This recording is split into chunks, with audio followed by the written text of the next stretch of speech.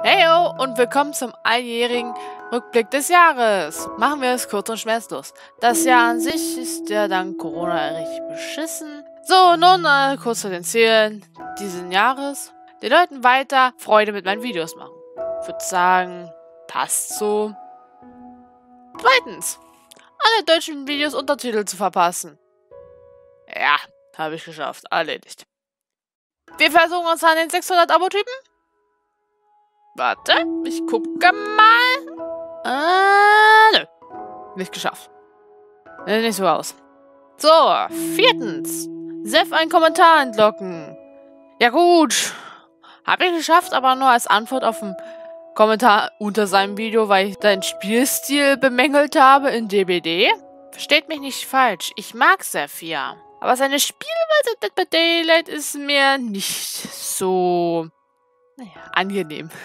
Finde ich jetzt persönlich nicht so. Jeden Monat eine Wunschtransformation rausbringen.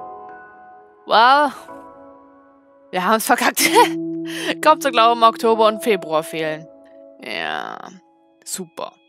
Einfach nur super gemacht, Wild. Kommen wir nun zu den Vorsätzen für nächstes Jahr. Klar, eins hier wird es sein, die 1000 und nach halte ich eh für unwahrscheinlich. Den Schrott, den ich hier mache, ist ja eh unnötig.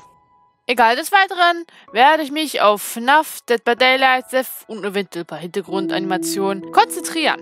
Ausgenommen von dem werde ich natürlich weiter Wunschtransformationen machen. Die Videos kommen jetzt an festen Tagen und zwar Freitag 17 Uhr, mit einer Ausnahme natürlich von festen Geburtstagen und so weiter. Abgesehen von den Animationen werde ich auch meinen Cosplay-Fortschritt hier mit euch teilen, sowie vielleicht einige kleine Let's Plays aus FNAF und Dead by Daylight. Also bleibt gesund und euch noch ein schönes Jahr 2021. Hoffentlich besser als das letzte.